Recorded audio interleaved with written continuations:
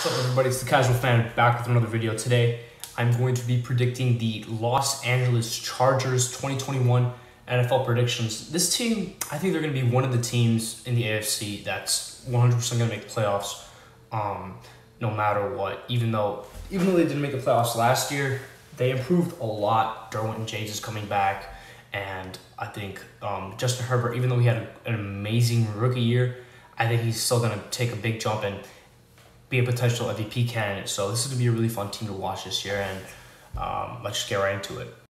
Week one, I have them starting out with a win against the Washington football team. Week two against Dallas, I think they lose that game because Dallas lost week one, and I think they bounce back. Week three, they take a tough loss against Kansas City. And week four, they beat Las Vegas. Week five, they take a tough loss to Cleveland. And week six, they bounce back and beat the Ravens on the road. Coming off their bye week, they go ahead and beat the Patriots. And then they go ahead and win these two games. At home against Pittsburgh, I think they win this game in an absolute shootout. And since Denver is coming off their bye week, I think they lose that game. Week 13 against the Bengals, they're in their bag and win that game. And week 14 against the Giants, they also win there. But week 15, Kansas City completes the sweep.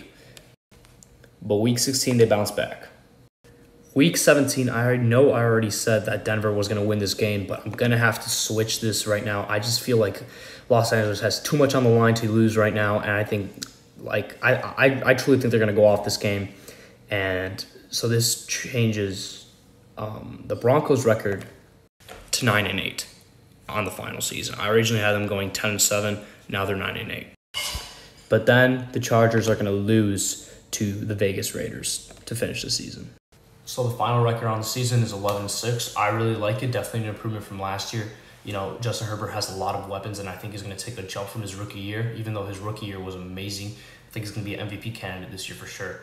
And um, that defense is also loaded with Derwin Der- Der- James coming back. I already said that. And um, should be a really fun year for the Chargers. They're making the playoffs for sure.